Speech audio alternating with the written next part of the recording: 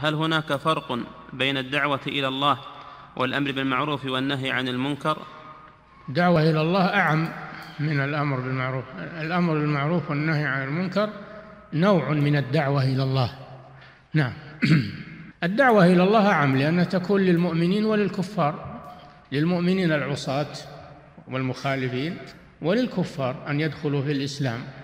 أما الأمر بالمعروف والنهي عن المنكر فهذا يكون للمؤمنين إذا حصل منهم منكرات معاصي. نعم.